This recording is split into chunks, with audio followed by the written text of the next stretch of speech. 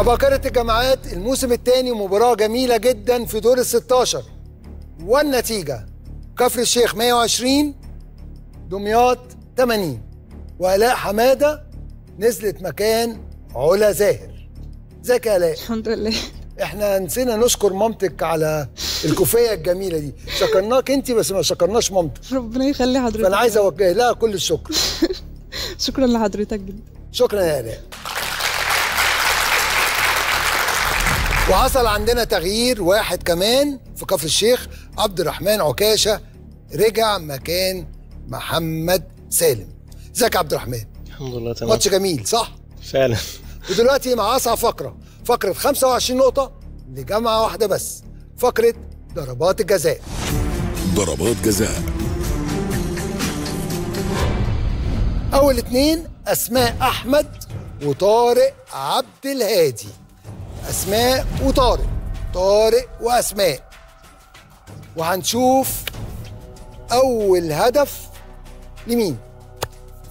يا طارق 25 نقطة بالنسبة لكم مهمين جدا. عارف. فاهم طبعا. طبعا. السكور 80 120 لو 120 بقت 145 المهمة اتصعبت عليكم جدا. فالحل إن إحنا نرجع نقرب تاني. جاهز؟ إن شاء الله. هنخلط الورق ونشوف أول هدف موضوعه إيه. قدرات ذهنية. والسؤال هو حل المسألة الآتية 13 في 3 زائد 9 على 3 يساوي كام؟ إجابتك يا أسماء. 42 الهدف الأول. برافو عليك يا أسماء. الهدف الأول لأسماء هدف بلا مقابل. هند وصلت. ازيك يا هند؟ الحمد لله. روح رياضية وهنشوف الهدف الجاي لمين. هند عايز تسألي في إيه؟ كون إن مفيش تكنولوجيا بس ممكن أدب. ممكن أدب. نشوف. جغرافيا. والسؤال هو.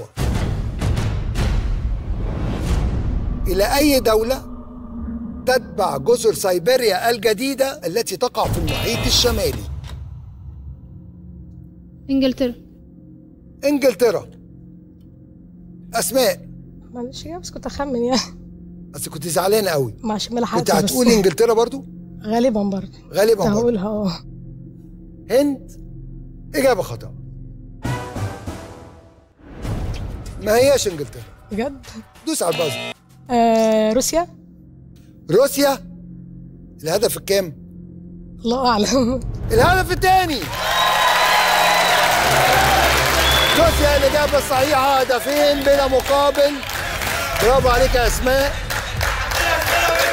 وهشام حسن وصل. إزيك يا هشام؟ الحمد لله. موقف بقى صعب يا هشام. جدا. كفر الشيخ قلبت المباراة.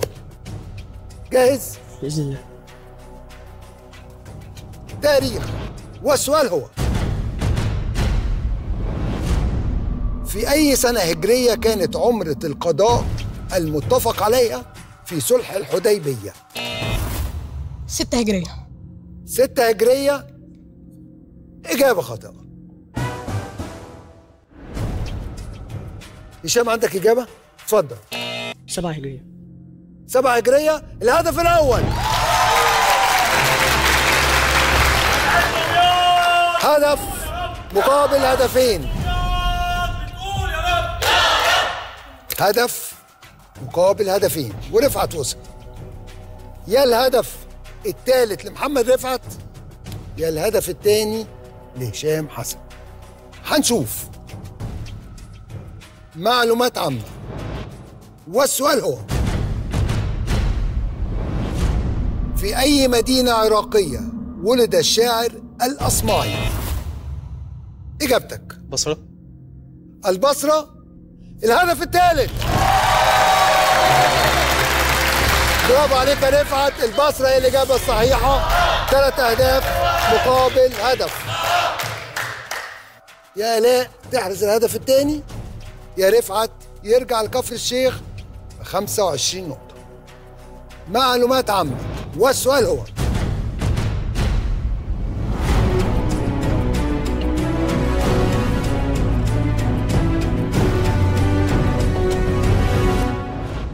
في أي مدينة ولد الرحالة والمؤرخ ابن بطوطة. ولد في طنجة. طنجة؟ الهدف الثاني. برافو عليك يا آلاء طنجة هي الإجابة الصحيحة والهدف الثاني. ثلاث أهداف مقابل هدفين.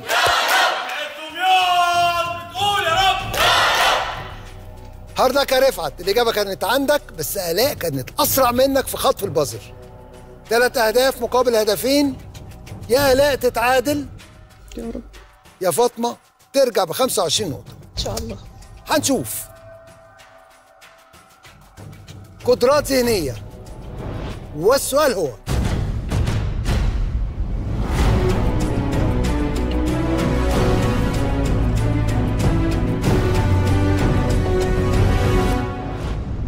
المسألة الآتية.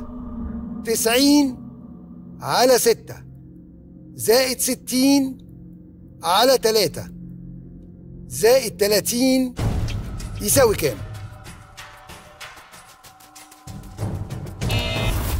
إجابتك؟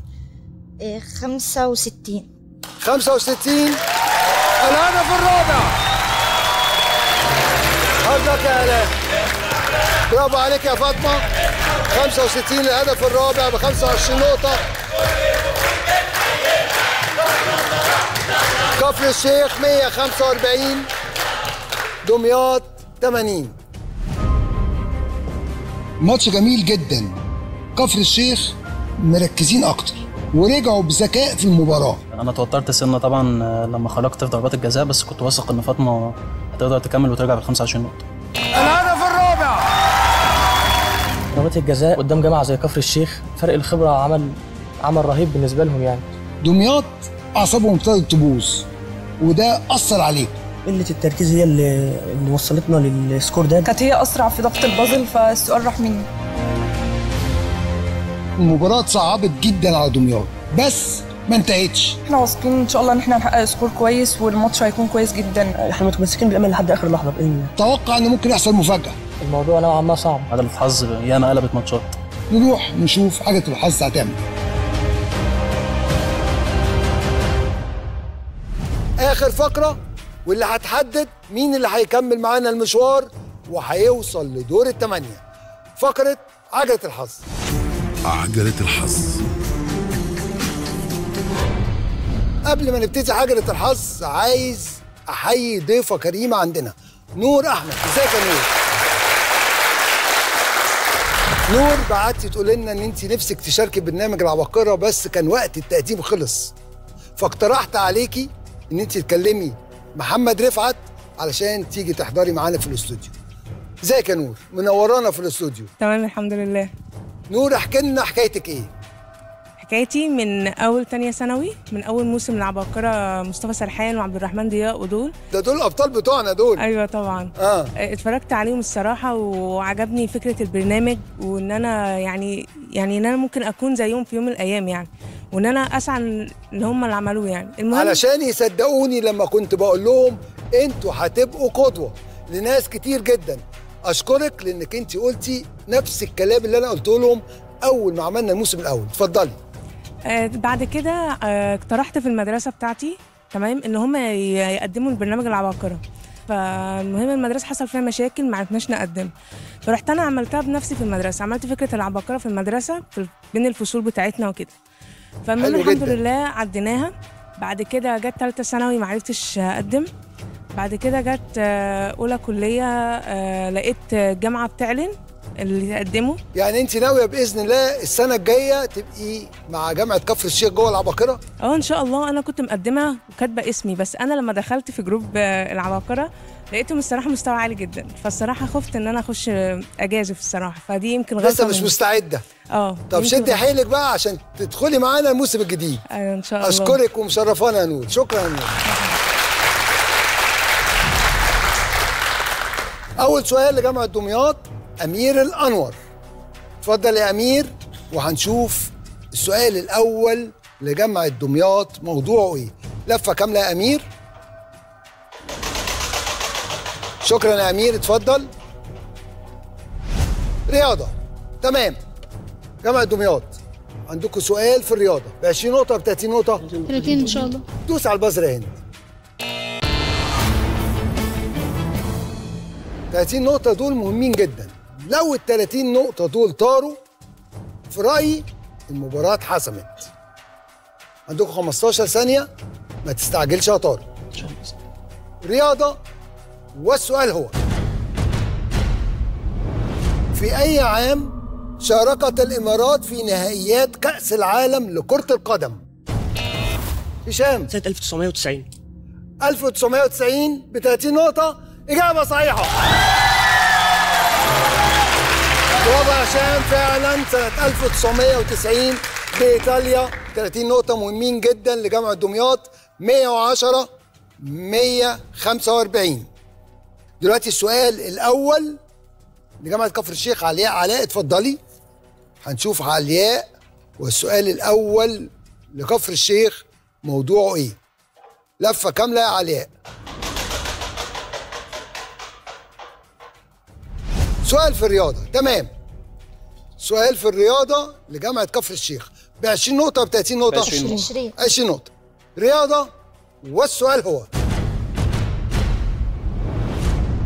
كم مرة فاز المنتخب السعودي ببطولة كأس الخليج العربي لكرة القدم حتى عام 2018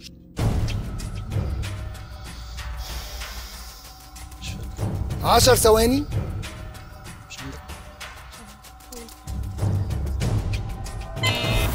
أسماء إجابتك ثلاثة ثلاث مرات. الإجابة طلعت من عندك ولا من عند محمد رفعت؟ هي هي جت تخمينة بصراحة مش من عند حد خالص يعني. ياه تخمينة. آه. أسماء ثلاث مرات. إجابة صحيحة. برافو عليك يا أسماء. ثلاث مرات فعلا.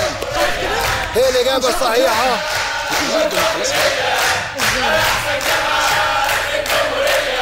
السؤال الثاني عبد الرحمن أبو المعاني من جامعة دمياط. اتفضل يا عبد الرحمن هنشوف عبد الرحمن والسؤال الثاني موضوعه إيه؟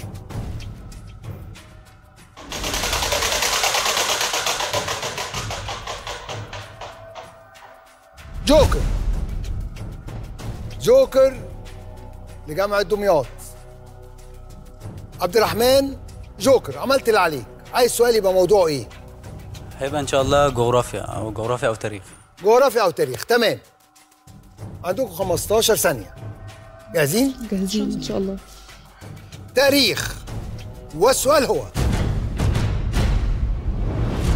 من هو الرئيس الأمريكي الذي تولى رئاسة الولايات المتحدة عام 1974 يعني بعد حرب أكتوبر على طول. هشام. جيمي كارتر. هشام إجابة خاطئة. مين اللي هيجاوب في كفر الشيخ؟ رفعت. جيرالد فورد. جيرالد فورد ب 20 نقطة. إجابة صحيحة. جيرالد فورد فعلا. يا رفعت. إجابة صحيحة وبكده النتيجة. كفر الشيخ 185 110 دمياط. دلوقتي آخر سؤال في الحلقة. أحمد سمير قبل ما تلف عجلة الحظ أسلم عليك الأول. إزيك يا أحمد؟ أهلا أستاذ عصام. أحمد منورنا في الاستوديو. بنور حضرتك. أحمد عايز أتكلم معاك في حاجتين. نعم. الحاجة الأولانية آه إن في رسالة منك لوالدك ووالدتك. آه. صح عايز تقول لهم إيه؟ أنا طبعا آه، بشكرهم جدا هم تعبوا معايا. أنا ممتن جدا لبابا وماما. هم ساهموا في ثقافتي وفي تعليمي رغم إن أنا كان جالي وأنا صغير الكاتاراكت. وكنت ممكن ما باش موجود هنا أو في المدارس أو الكليات عموما. فدي حاجة تحسب لماما إن هي وقفت جنبي وشجعتني وساندتني وكانت عايزاني أبقى حاجة والحمد لله أنا قدرت إن أنا أوصل للبرنامج ده.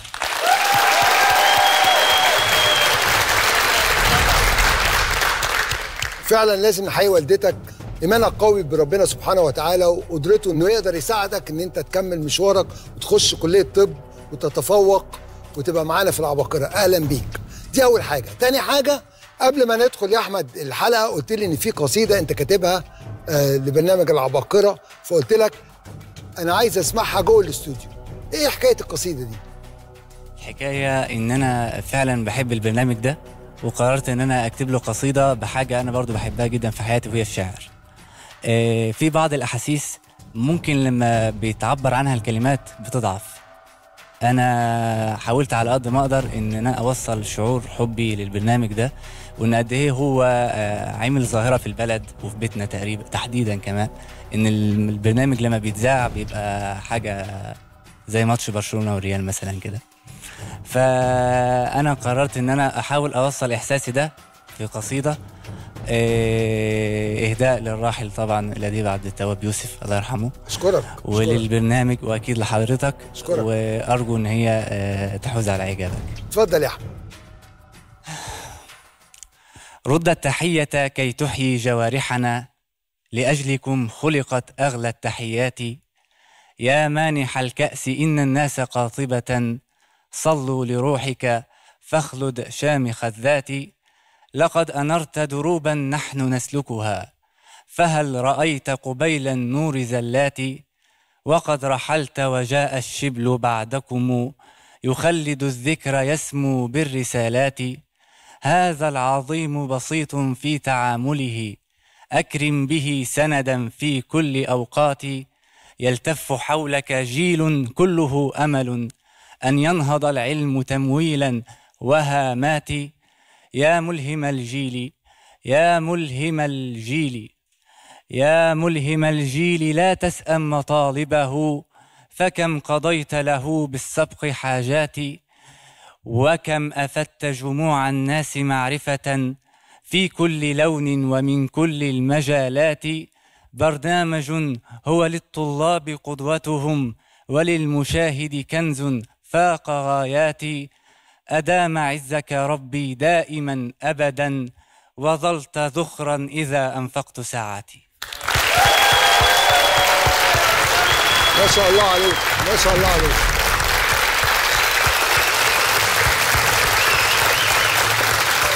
ما شاء الله عليك. بإذن الله هتبقى دكتور شاطر وكمان شاعر عظيم.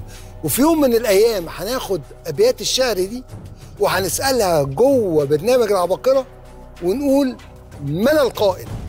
أوعدك إن إحنا هنعمل كده بإذن الله.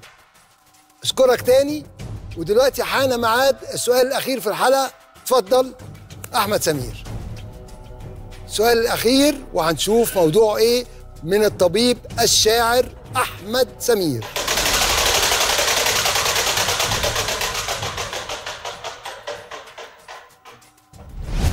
قدرات ذهنية كفر الشيخ. آخر سؤال في الحلقة قدرات ذهنية. جوكر ولا مفيش جوكر؟ في جوكر. كفر الشيخ لو الإجابة صح هتبقوا 215 عندكم 15 ثانية. قدرات ذهنية والسؤال هو حل المسألة الآتية. 88 في 2 زائد 44 على 2 ناقص 2 يساوي كام؟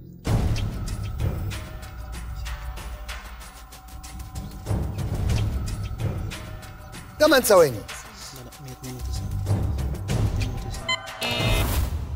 محمد رفعت إجابتك. 192 192 ب 30 نقطة. إجابة خاطئة. هند إجابتك؟ 196 قبل ما أقول لك إجابتك صح ولا غلط 196 معانا النهاردة أفضل لاعب ب 70 نقطة من جامعة دمياط هشام حسن. برافو يا هشام. هند 196 إجابة صحيحة.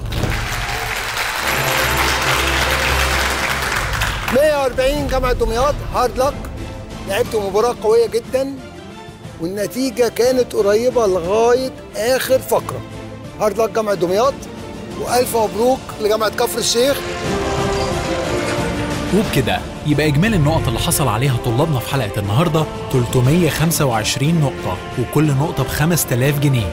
بما يساوي مليون وستمية خمسة وعشرين ألف جنيه. ويبقى مجموع المبلغ من أول حلقة لحد دلوقتي 16 مليون 825 ألف جنيه من البنك الأهلي لتطوير القرى المصرية.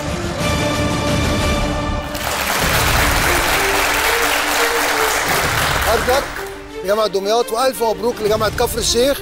اتأهلتوا الدور الثمانية وإلى اللقاء وحلقة جديدة مع العباقرة.